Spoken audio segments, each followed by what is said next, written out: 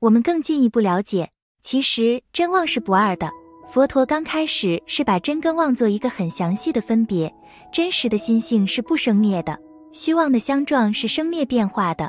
但是佛陀到最后的时候告诉我们，生灭中有不生灭，不生灭中也有生灭，相中有性，性中有相，波浪当中是有大海的，大海当中也有波浪。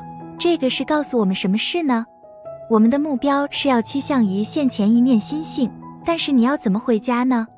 你还是要用你现在的这个身心世界。如果说我这个身心世界是假的，是暂时的，那我就把这个身心世界自杀。我不要我这个身心世界，那你也没办法回家了。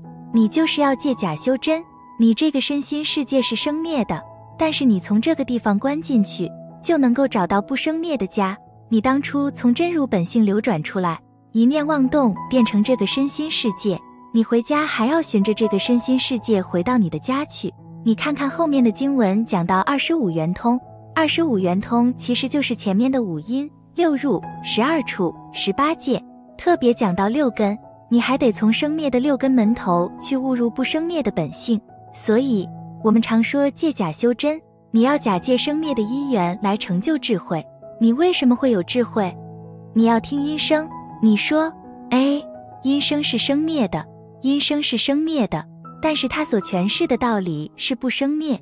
你还得要假借你的身心世界去拜佛，去修福报，所以你必须假借你的生灭的因缘来积功累德，来成就你的不生灭的清净的功德。这个就是我们在前面的三卷经文得到的第二个思想，就是真妄不二的道理。那你把这两个思想掌握住了，前面的三卷的经文你大概就知道了。第一个，相望性真。第二个真妄不二，这个是整个前面三卷的思想，也是整个楞严经修止观的最重要的观念。